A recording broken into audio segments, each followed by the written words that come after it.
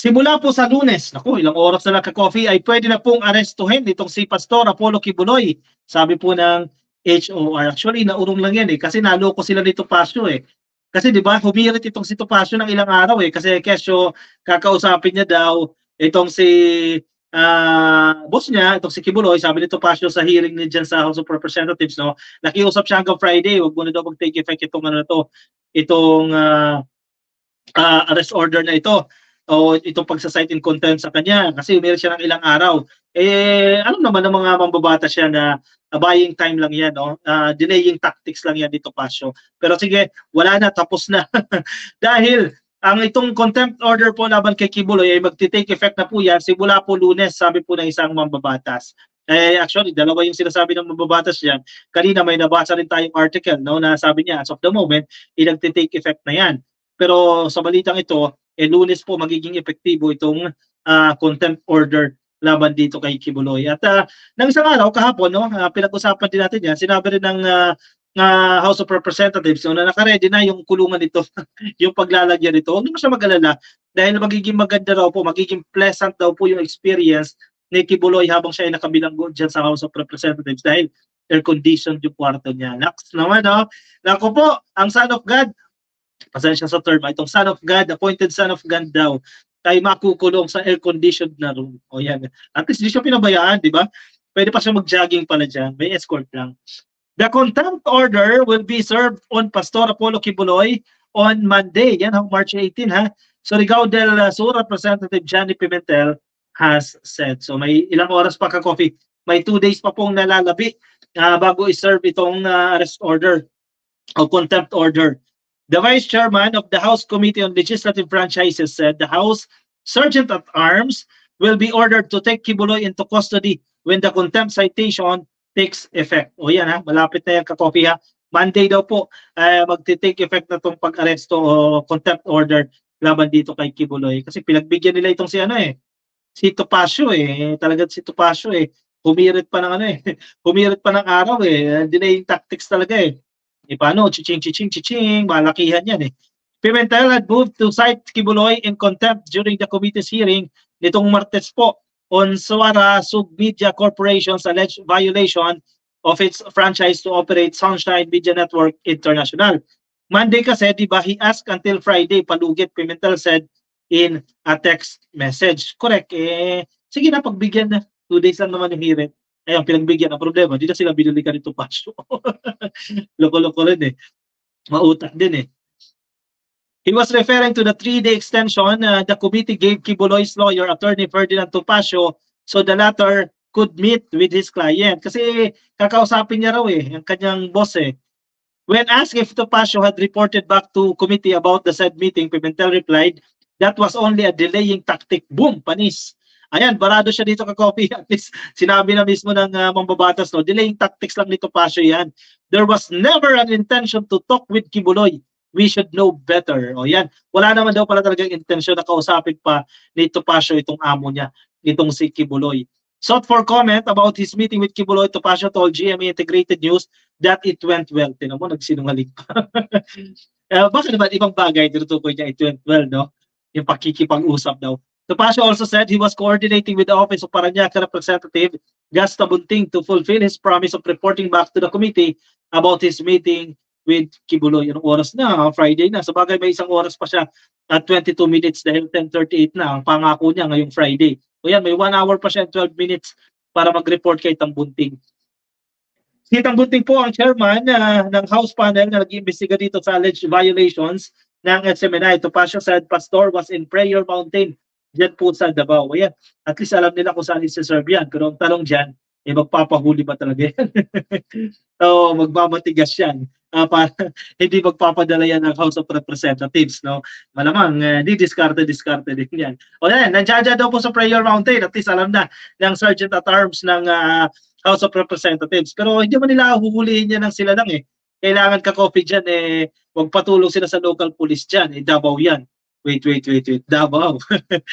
Siyempre, protected siya dyan. Kaya nandiyan siya. Ayaw na lumabas ang Davao. Siyempre, na uh, safe uh, place niya yan eh. Safe haven niya yan eh.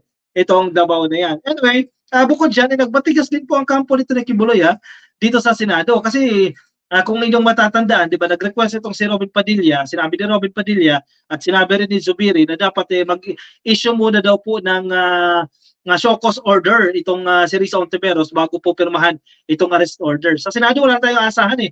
Ako din ako umaasa dyan sa Senado na ma Mare-release nila itong arrest order kasi ang daming kakampi ni Kibuloy dyan eh. Baka nga Senate President kakampi din eh. Kaya hindi ma-issue-issue yung arrest order na yan. Sa House of Representatives, posible pa. Anyway, sige, nasa GMA News Online, Kibuloy camp responds to Senate show cause order insists he doesn't need to attend probe. O yan ha, malinaw po yung sinasabi ni Kibuloy. Hindi niya kailangang dumalo sa investigation na yan dyan sa Senado. O yan, sa para kay Risa Ontiveros. Pastor Kibuloy, ngayong araw po ng biyernes, admitted his response to a Senate show cause order in connection with the investigation of the abuses being, being linked to him and his religious group Kingdom of Jesus Christ. The document submitted through Kibuloy's lawyer was uh, formally received by the Senate Committee on Women, Children, Family Relations, and Gender Equality on Friday, March 15. Kasi binigyan din po siya ng palugit dyan eh. 48 hours po ang ibinigay na palugit sa kanya dyan para sagutin itong cause order uh, kung bakit hindi siya dapat i- i-bilanggo dyan ka coffee. Ayan, nanindigan sila na itong cause order na inisyo po ng March 13 ay inatasan po si Kibuloy na magpaliwanag within a non-extendable period of 48 hours why he should not be ordered arrested and detained at the office of the Senate Sergeant at Arms for refusing to attend the Senate panel's inquiry despite repeated via invitations and notices. So yan naman yung main reason dyan. Magpaliwanag ka bakit hindi ka dapat ibilanggo dyan sa Senado. Pero naninindigan po itong kampo ni uh, Kibuloy na hinusgahan na raw siya, copy. Kaya hindi na siya pupunta dyan kasi hindi naman daw talaga in aid of legislation eh. Itong ginagawang pagdinig na yan dyan sa uh, Senado no? at nahusgahan na raw siya dyan. Kaya hindi na sila pupunta dyan. O sige, eh, tingnan natin, di ba? Sige, pagalingan sila dyan. Eh, kung ginidadaan sa technicality siya, tingnan natin. Si JB Hertz nga eh, nag-retract ng kanyang pirma. Ibig sabihin, nakitaan niya ng uh, validity itong mga reklamo ng bigat, itong mga ebidensya na ipinakita sa kanya. O tingnan natin kung sino ang mas matibay sa kanya. So, ang hinihiling ni Robin Padilla na show cause order, yan, na-serve na yan, na-receive na yan, nasagot na yan, eh, ang next move dyan, aralin siguro ng kampo ni Senator Rizzo Ontiveros dyan, ng Senate President. At uh, finally, permahan na Zubiri itong uh, Senate order, uh, itong arrest order na ito. Eh, uuwi na sila eh. Ngayon, ngayon o bukas, uuwi na. Nandito na sa Pilipinas yan, itong si Zubiri. Kasi pwede niya i-deny dyan eh. Nandiyan siya sa Czech Republic eh. Kasama niya ang presidente kaya hindi niya mapirmahan yan. Eh, uuwi na sila. Ang problema, baka naman kasi patulugin na naman yan eh. Yung dokumento na yan eh. Kasi kung natatandaan ninyo eh, itong sumpina pinatulog eh ng matagal na panahon eh sa opisina niya. More than two weeks ago natulog yan. Anyway antabay tayo kung ano magiging update dyan. Pero sa Senate uh, huwag na tayo mag-expect. Sa HOR pwede pa. Jake Franco pag mahirap yan parang uh, kulungan ng aso sabi ni Jake Franco yung bilangguan ni Kibuloy no? aircon daw eh. Aircon dyan sa House of Representatives eh. Pero hindi niya solo yan. Ha? Eh, kasi kung may iba pang maisa-cite in contempt sa mga pagdinig, isaya kung hindi pinakawalan pa itong si, si Celis at saka si Lorraine Baduy. Eh. Yan, sama-sama sila siguro dyan. Maliban kay Lorraine kasi nakahiwalay ata ang babae dyan. At pwede naman daw dalawin dyan sa ano, sa HOR, no? Daming palusot ni Kibuloy ha, dapat talagang ikulong na yan sabi ni LFM Sarmiento. Actually, hindi naman sana talaga hahantong sa ganitong sitwasyon eh. Bumigat na itong sitwasyon na ito eh. Kung umattend lang siya dyan sa pagdinig na yan, di ba? Or kung hindi siya makaka-attend, magbigay siya ng valid justification eh. Yun ang pinupunto ni Rizal Tiveros dyan eh. I-justify mo bakit hindi ka makakapunta. Eh, kahit mag-invento, invento na lang siya na may sakit siya. Di ba? Hirap siya makalakad dahil old age may rayuma siya, hindi siya makaparating o kaya wala siyang ayos sa pag-iisip, no? At hindi niya masasagot ng tama. Pwedeng ganoon eh. Eh, may doktor naman eh. Papeke, pipikiin lang naman yung uh, medical certificate yan eh.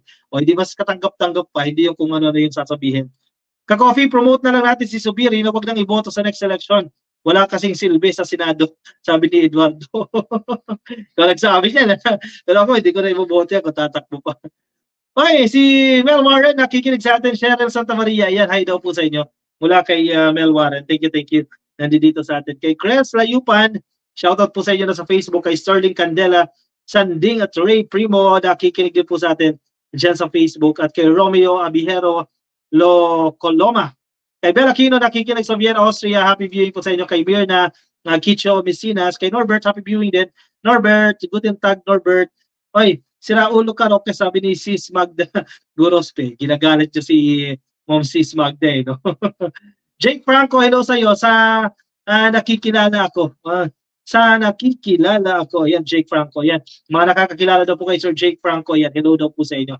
Kay Cora Patung, kaya hindi nanalo yan si Roque dahil simulat sa pool noong eleksyon ay masama inaiisip. Yun ba yun? Baka. At siguro nakitaan siguro siya na hindi naman talaga intention niya na mag-serve sa public. No? Ay siguro nakitaan kaya hindi siya binoto dyan. Noemi Bonamarino, happy viewing po sa inyo kay Max Drive ROG. VIP Zelda for uh, Kibuloy ha. Grabe air condition yung room mo. Oh. Pero sige, yan natin bigyan yan. Kasi appointed son of God naman. Eh. Cheryl Stay yan, Maria, nagalang shoutout po sa inyo mula kay Ma'am Nilda Galvez, kay Vincent Leon, Noel Diaz, hello din ka Coffee. Pag hindi niya pinapasok ang ICC, mawawala ang suporta namin sa kanya. Sabi ni uh, Gerald Argel. Ang problema, sir, eh, wala kasing basis na wala kasing batayan. Kasi tulad ng argumento ni PBBM dyan, and ako, I respect that uh, uh, argument no, ni Presidente, walang basis. Kasi functional pa yung ating justice system. Eh, nagumagana, may police, may militar, gumagana pa. yung atat-atat si Roque, lalo na yung OIC, ay kasi alam niya na matatalo siya sa 2020 ito. Baka nga, kaya nagmamadali na talaga eh. Gusto nila talaga mag-resign itong si PBBM eh. Gusto nilang mapadali yung kanilang pag-upo eh. Kasi baka alanganin kasi pag sapit ng 2028 eh. Kasi di ba nagsasalita si ano eh si Sara Duterte hindi nagsasalita eh, 'di ba? Magkaroon man siya ng mga na magkaroon siya ng statement recorded eh, 'di ba? Uh, sa mga hearing hindi rin nagsasalita, 'di ba? So, ewan ko, pero kailangan natin na maayos na articulate din ng presidente, no, na kaya mag-represent sa bansa natin. Kasi halimbawa ito, mga gathering international, no, mga meeting with, uh, with the world leaders, interview sa foreign media, hindi pwedeng tahimik ka lang, hindi pwedeng dependent ka sa speechwriter mo o sa spokesperson mo, dapat ikaw din mismo. Kaya mo magsalita, di ba? Eh, tingnan natin. Dahil sa rally nila, o yan, sinira nila ang mga pangalan ng mga senador, sabi ni Ben Payne. Exactly. O, totoo. Ang dami nilang nasira dyan. At wala naman nangyari. Ilang araw daw yan? 8 hours daw yan. 8 hours. 8 days daw yan eh. Yung rally na yan. Diyan sa liwasang Bonifacio, wala naman nangyari. di ba? Walang effect. In fact, media nga, hindi nga sila kinocover eh. Pero siguro, yung nadudoon si uh, Sara Duterte, si Digong, nung nag-speech siya doon, doon lang na-cover ng media yan. Pero the rest, hindi sila kinocover dyan. hindi nakikita ng ano ng wordiness ng mga media ng mainstream media pero dahil din sa nangyari na yan binabash nila kayo ng mainstream media kaya nabayaran na raw ni PBBM nabayaran na raw ni Lisa Marcos kaya hindi na raw po binibira yung administrasyon nito. Yun ang kanilang argument kayo. Hindi ba pwedeng nakitaan nila at ibinabalita nila itong magaganda na nangyayari sa administrasyon. Kasi ang in-expect nila, pag sinabing mainstream media, puro kasiraan lagi sa administrasyon. Gusto nila yun eh. Kasi ganoon ang nangyari sa kanila eh. sa term nila eh. Eh ngayon, na tila pumapabor o tila nagiging fair itong uh, media, uh, mainstream media sa administrasyon na ito, ang assumption nila, binayaran na naman pati mainstream media. Paano mo nabayaran yun? Binayaran mo sa TV5? binayaran mo ang uh, Inquirer, binayaran mo ang ABS-CBN, yan ang argument nila dyan eh.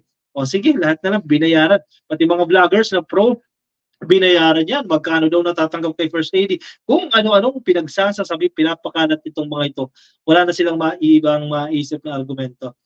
Here Kabato, oy idol, wag na tayo magtiwala sa mga pro-China ha. Lagi na lang paninira kay PBBM. Maganda na ginawa niya sa government natin. Ano pa hahanapin natin sa government natin, idol? Correct.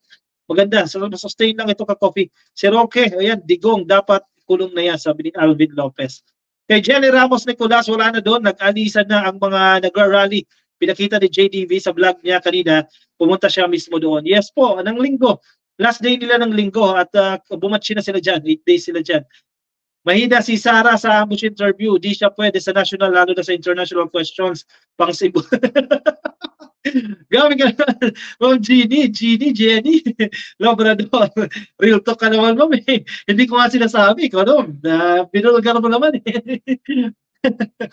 Cebu? Davao. O sige, sinama niya rin Davao.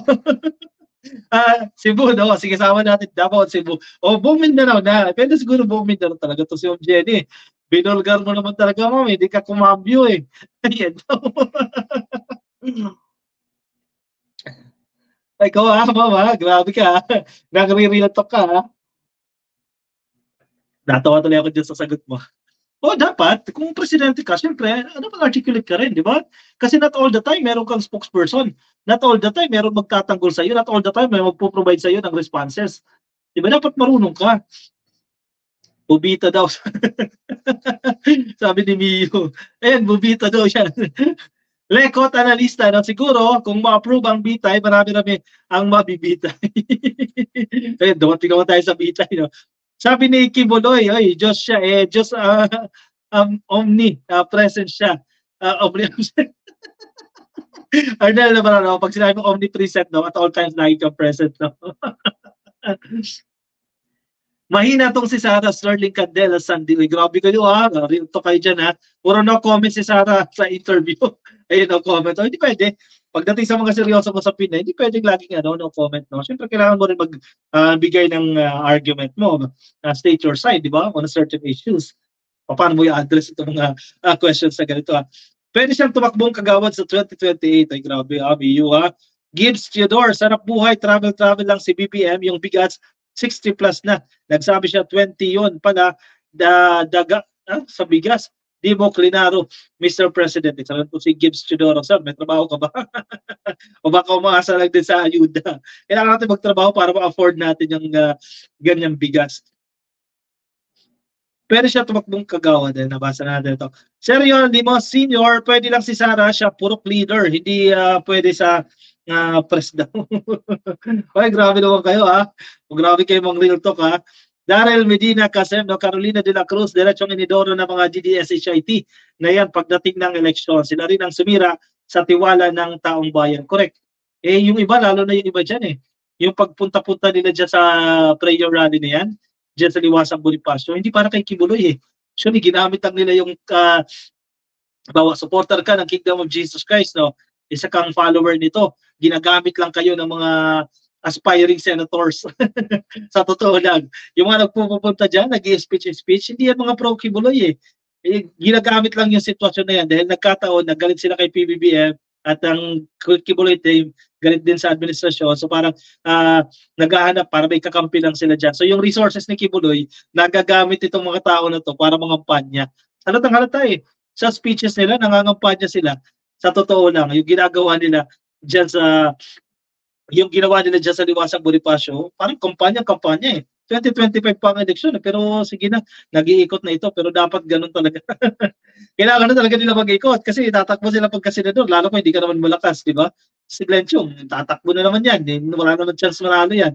Harry Roque, I don't think mananalo pa yan dahil eh, yung 11 million votes niya, tanggalin mo yung mga loyalista dyan eh. Kulelat na ulit ito. Kaya yan, eh, double effort na yan mga magsisitakbo yan. Attorney Vic Rodriguez, tatakbo din sa pagkasenador yan, kaya nag-iikot-ikot na rin yan. Lydia Aguilar, wag kayo ganyan ha, bakit puro leader? Bouncer na lang, proven na effective siya. Oy, Ma'am Lydia Aguilar, oh, grabe ka ma'am ha. B.O.B.O. nga sabi ni Jerry Gabriel, Jade Yangonen, oy, hay nako. Kay Andrea Papakuan, so kawawa din si Digong ha, kasi ginagamit din nila ah, yung matanda. Oy, uh, Andrea, correct. Pwede rin, no? Pwede. Kasi sa totoo lang, sa side ng opposition, let's consider yung ni Digong as the main opposition. Kasi liberal, wala na kakonfigurado ng liberal eh, as of the moment. I-consider na natin na yung opposition ay grupo ni Digong. Totoo. Ang highest kasi sa side ng opposition, kasi si Sara Duterte, hindi naman siya declared eh, opposition, eh, no? So si Digong talaga, ang titinan mo. Pag nawala yan si Digong, bagsak yung mga dependents niya, yung mga umaasa sa kanya. Totoo ka, tama yung uh, argumento mo dito eh ginagamit nila dito si uh, si Digong eh kasi kahit pa paano may pangalan pa rin si Digong. So nakasandal sila diyan kay Digong. Ayun, ginagamit yung resources si Kibuloy, ginagamit din si Digong para to advance yung kanilang mga sarili para pagdating ng eleksyon, eh makapuntos-puntos sila. Ang tawag natin diyan sa communication, no? kasi ang background ko kasi communication, eh, no? Uh, kung familiar kayo sa theo, uh, sa theory uh, priming, no? Uh, yung theory na yan, yung priming. So parang ang gagawin mo, mga bagay, gagawa ka ngayon ng mga bagay na hindi mo pa directly sasabihin na iboto ako, di ba? Para yung mga bagay na yan, naiipon lang yan ang naiipon sa isip. Para pag dumating na yung araw na magdidesisyon sila, marerecall mo na yung mga bagay na ipinasok sa iyo earlier. Di ba? Halimbawa, pinapalabas mo, mabuting tao ka. Pero hindi mo pa sinasabi na iboto nyo ako no, sa pagkasenador. So naiipon lang yan sa tao yung kabutihan mo. Pagdating na yung araw na magbobotohan na, ayan, lalabas na yan sa isip mo. Yung mga pinasok noon, lalabas na yan na sasabihin, mabuti siya at iboboto mo siya. Effective yung theory na yan, yung strategy na yan, kung ikaw ay mangangampanya. Yan ang ginagawa nila ngayon. eh pero, hindi naman kabutihan ang tumatatak sa tao eh, di ba? Panlalamang eh. Niloloko lang nila yan eh. Ginagamit nila ang resources ni Kibuloy at si Digong ginagamit nila. Sinayang ni Glenn Chong, oy, sumanib siya sa maling team. Oh, mukhang ganun yan. Kasi um, nag-expect din siguro yan eh, nabibigyan ng posisyon, hindi nabigyan ng posisyon. Punta kayo sa korte, sa kasuhan nyo si Gibbs ay para magkaalaman, malakas naman kayo, uh, kaya ang proof nyo, Gibbs, Tudor, exactly. Diba? Sabi ng DOJ, sabi mismo ng kaibigan niya, sinabi niya kaibigan ni Kibuloy eh. Sabi niya, kaibigan ko siya, but I have to do this. Diba? Pinapasampahan niya, nasa korte, antay lang. Inasampan na. No, kasi eh, kinasuhan na nga eh. Kaso, nireverse yung ano eh. Binasura na nga eh, ng uh, City Prosecutor's Office eh. Just sa Davao. Eh yan, nakitaan. Na-review ng DOJ. Yan, sasampan na. Wait lang, Sir Gibbs Chidoro. Ha, antay lang. You cannot put a, a good man down. You will cry out if you insist, sabi ni Reynald Latore. Correct naman yan. Valid naman yan. Attorney Secretary Larry Gadon, winner na winner, Gloria Constantino. Ayan, loyal kay PBBM yan. Kakopi, totoo bang na mild stroke CF PRRD? Uh, wala akong ideya, no? Kung ganyan ang nangyari. Si Sara, mahinang nila lang ha, simpleng kurakot ha, mali pa nga sinuportahan pa yung mga yan. Oo, kakopi ha, kung napanood niyo yung last speech niya, nagbulol-bulol na siya at di na niya alam ang sinasabi niya, Andrea, uh, Papa Cons. Yung about sa ano, yung kay PBBM, no, bago siya nagpaalam, no, parang, di ba nalaglag yung mic? Parang nalaglag yung mic doon eh, tapos inayos ng security niya, and then wala na, parang nag-stutter na. Eh, matanda na kasi, no? So, baka, due to ano yan, old age na. Anong nangyayari? Kinasuwag kasi best friend ang dating Pangulo. Sabi ni Mel. Yung kaso sa Farmally, pinahiya at kinulong, sabi na korte, illegal. So ano ngayon? Ayun yan eh. Gibbs Theodore, no? kung hindi ka familiar sa mga nangyayari, ang sabi ni Zubiri, bago mo i-serve itong arrest order na yan, cause order ka muna. Di ba? At yan ang ginawa ni Rizal Tiveros. Bagamat na-delay, yan nag-issue ng show order. Kasi yung formally, walang show order na naganap, yan meron na. Noon tayong balita, para natin, no? Oy, na-hospital si Diggs, inatake siya. Kailan? Di ko alam, ha? Carolina, ha? No idea tayo dyan. Kay Emily G, oy, langung-lango eh, parang uh, nakakatulog na sa stage eh ni hindi na kayang bumuhat ng mic eh, pinipilit na lang ng mga full guts kasi ginagamit nila. Actually, nakakaawa din ka coffee ha. Uh, nakakaawa din si Digong dito dahil ginagamit nga siya eh. Totoo, ginagamit siya dito ng mga gusto maging senador eh. Kasi natatanda ninyo, ang presidente si Digong, itong senatorial elections, yung midterm elections, di ba, ocho diretso, yung liberal tapon lahat eh. Yung mga sinuportahan ni Digong naging uh, senador. So ganun pa rin siguro yung inaasahan nila na ito, kaya dumidikit sila kay Digong kasi akala nila magiging senador sila pag dumikit sila. Ay good luck. Itong tao na ito ha, Hari uh, B, B-A-B-O. Easy ka lang. Yan. na overdose sa fentanyl, sabi ni Dora Elo. No? PT2 Duterte and Sarah never care, sabi ni Ami Ibal Mayo. Anyway, sige, move tayo ka coffee sa ating next topic. Kung nasa Facebook kayo, ha, di pa kayo naka-follow sa ating Facebook page, pasuyin na lang po ha. Click lang po na follow yung uh, sa Facebook yan, follow or like sa ating Facebook page. Kung nasa YouTube, click lang po ang subscribe. At sige, ka coffee, move on na tayo sa ating next topic.